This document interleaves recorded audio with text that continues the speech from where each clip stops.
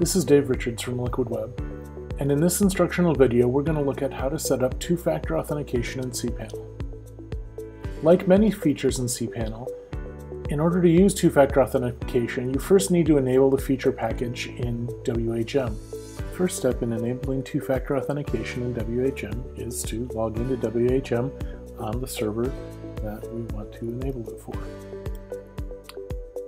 Once we've logged in, we can go up to the search area and select the Security Center by typing in security and then scroll down and find two-factor authentication. You can see that two-factor authentication is disabled by default when we start on the settings area. Click on Manage My Account to set up two-factor authentication for WHM. Using an app like Google Authenticator, scan the barcode and then enter the security code provided by the app.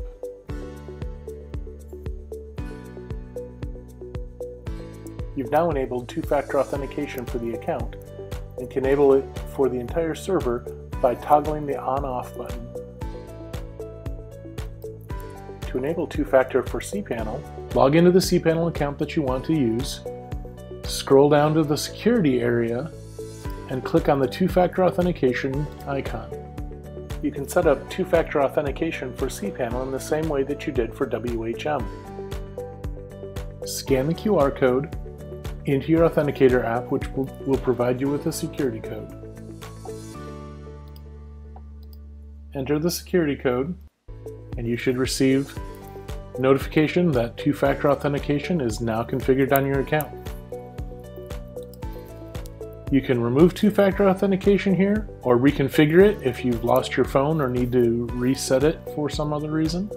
Or you can go back to WHM to disable two-factor authentication for the server if necessary.